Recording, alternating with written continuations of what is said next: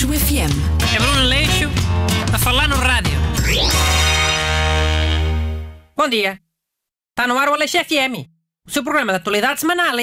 Olá, bom dia. Diz lá o assunto da semana, anda. Ah, Eu trouxe vários. Um, é de música, outro é a política do Brasil, mas também tenho obituário e um tema de Qual é o economia. obituário? Quem é que morreu? Foi o fundador do IKEA. A loja dos móveis? Sim. Não sabia. Ele chamava-se IKEA? Não, era Ingvar Kamprad. Nunca ouvi falar. Não vou ter pena. Parece que era o segundo europeu mais rico do mundo. Também era o segundo europeu mais rico da Europa. Hã? Ah, sim, pois. E olha lá, esse homem do IKEA não era sueco. Era. Então era o sueco mais rico do mundo.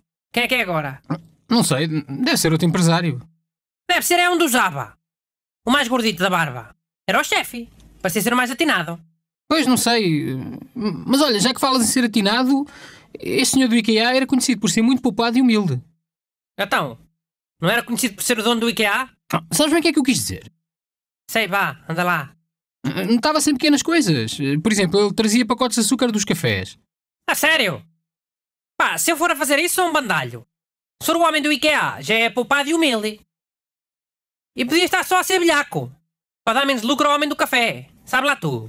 Sei porque há muito mais exemplos, não era só E nisso. olha que eu conheço velhos que fazem isso. Mas depois esquecem-se de guardar uns pacotes de açúcar nos bolsos e, olha, passado uma semana andam uns cães vadios atrás deles. Sem saberem porquê. Ma- Mas, eram mais coisas. Eh, Quando o senhor do IKEA veio cá a Portugal a ver a primeira loja, eh, ficou numa pensão. E então? Caramba, o mais normal seria ficar num hotel de 5 estrelas, não? Pá, mas tu achas que é ele que cá bem? Então não é ele. Quem é que havia de ser? Isso foi noticiado. Mas não era ele! Esses homens muito ricos têm sempre sósias. Se não forem clones. Em quem é que isso foi? Foi em 2004, acho eu. Então se calhar já era um clone. Ainda esta semana vi que os chineses já tinham clonado uns macaquitos.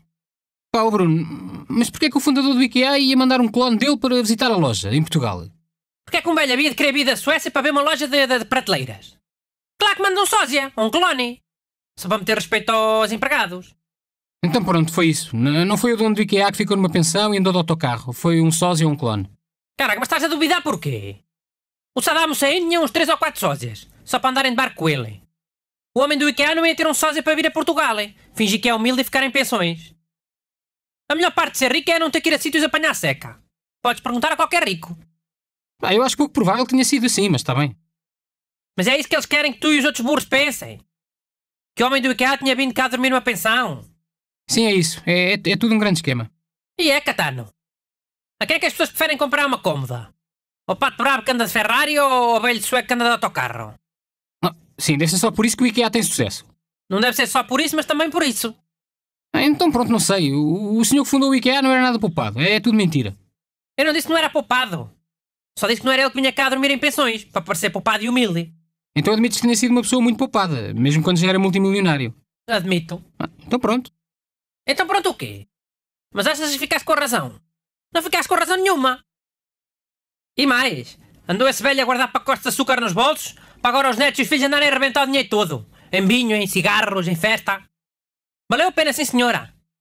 Que história bonita. Aleixo FM. É Bruno Leixo a falar no rádio.